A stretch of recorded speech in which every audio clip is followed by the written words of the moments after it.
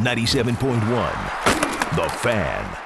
It's very different. You know, we both one of the top schools in college football, so we we definitely looking at it as a different approach, and it's definitely going to be a big test for us as a young team this year. So we're looking forward to the challenge, and come game day, you know, we're going to be ready for it. He's a very good player. You know, he tends to make a lot of great plays when he gets out of the pocket, and and uh, that's that's probably probably the main key to the, uh, this game coming up. You know, we got maintain him. He gets the offense going. Him and the forward, the running back. Guys are very locked in. You know, paying attention to every little detail, um, listening to what our coaches say. And you could just tell it's it's a different a different vibe in the locker room and a different vibe out on the practice field. You can definitely tell. I say the dynamic warm up been a lot a lot harder just to get us loose and fresh and like the tempo period has been a lot quicker. We've been going to from period to period a lot faster.